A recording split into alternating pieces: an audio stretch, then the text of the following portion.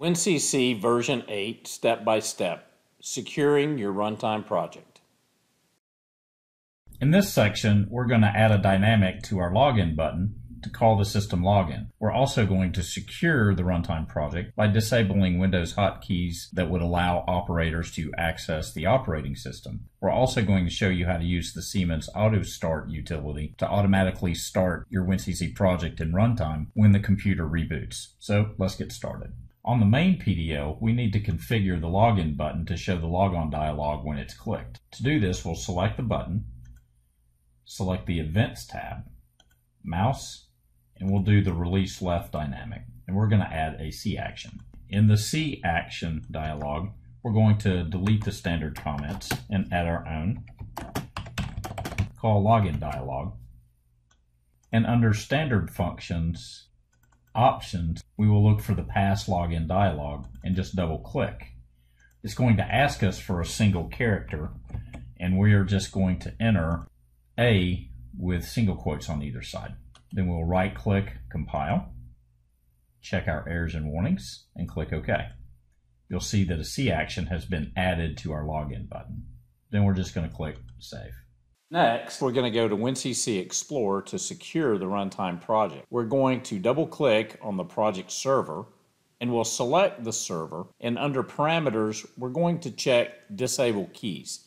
What this does is disables the Windows runtime keys that allow you operating access. This is like the Windows key, Alt Tab, and Control Alt Delete. So this only takes effect when the application is in runtime.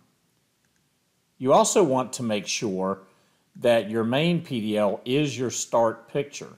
This is important because your logon controls are on your main screen.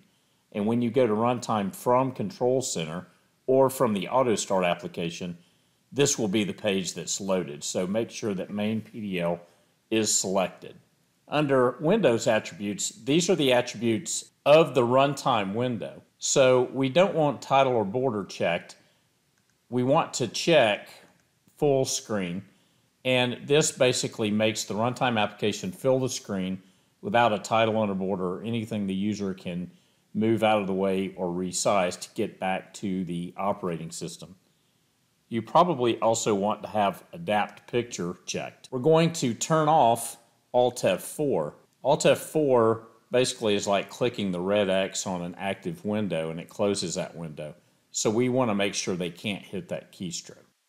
Now we can close this and from WinCC Explorer we can start runtime.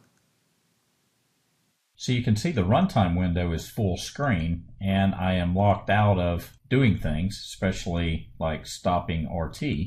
And I should be able to click my login screen. If you did forget to do this, you can use Control L. I can log on as my engineer and then I can use stop RT to deactivate the project.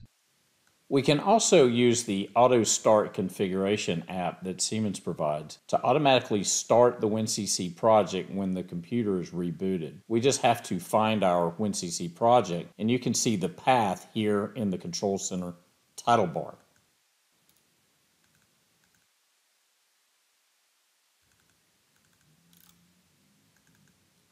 And we'll choose the project's MCP file.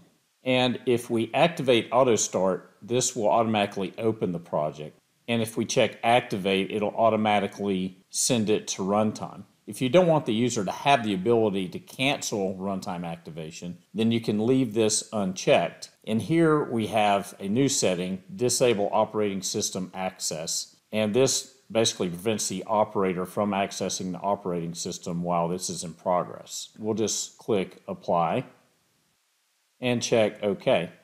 With auto start configured, the next time the computer is rebooted, this project will go directly into runtime. With the other settings that we set previously, the user will not be able to get into the operating system unless they have authorization.